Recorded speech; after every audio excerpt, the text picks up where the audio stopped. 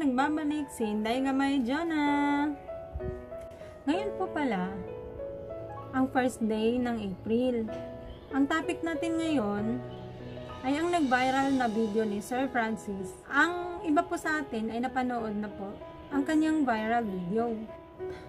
Para naman po sa hindi nakapanood, ilalagay ko na lang po ang link sa description sa baba. Ayun nga mga daygamay, madaming tinamaan sa challenge niya, pati sa Facebook binaro ang video niya. Sapot talaga. So si Sir Francis Leo Marcos, isa po ako sa napahanga ninyo. At dahil dyan, saludo po ako sa kabutihan at malasakit ninyo sa ating mamamamayang Pilipino. Ito po ang panahon ng pandemic na ang dapat po na unang tumulong sa atin ay ang mga nakaupo sa ating gobyerno.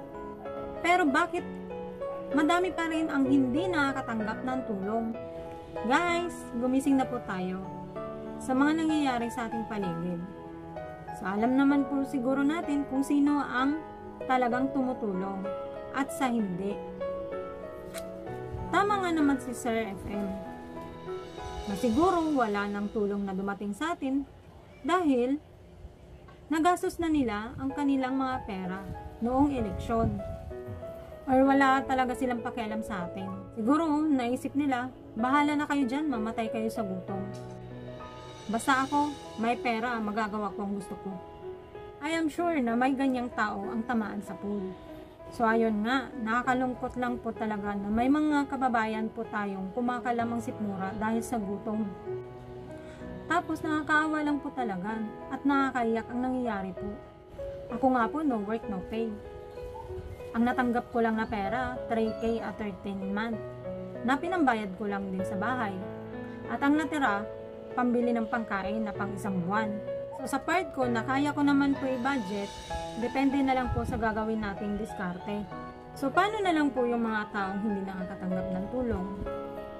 Sa tingin niyo po, unahin pa ba nila ang kaligtasan sa income na yan? E mamamatay na sila sa gutom at may pamilya pang binubuhay. Kaya madami pa rin po ang tao sa palengke at sa lansangan para maghanap buhay. Nababisit din ako sa mga nagbibigay ng relief goods. Kung hindi ka rehistrado, wala kang matatanggap. Ano ba yan? Ayoko na dito sa earth. Or pwede ba next time, bago ka may panganak, pwede ba mamili? Kung saang bansa o universe ka. Yung walang kurakot, nakakasira lang ng araw kasi itong mga to. Nadadamay pati yung talaga namang tumutulong tapos sinisiraan pa. Beast mode na ako. Sana magkaroon ng batas na pwedeng batuhin ng granada yung mga kurakot na opisyal namimigay ng dalawang kilong bigas. Mahiya naman kayo, uy.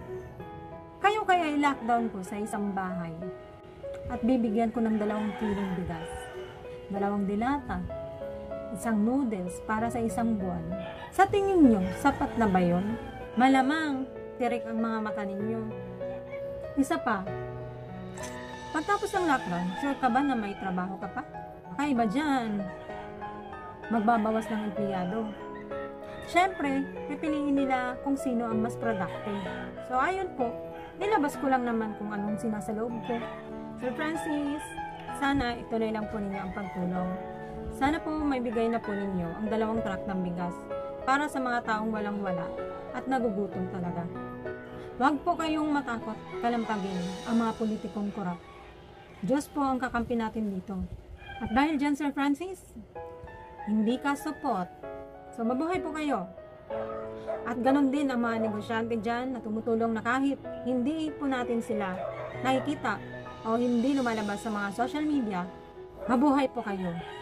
Sa ating mga frontliner na base buhay, mabuhay po kayo at saludo po ako sa inyo.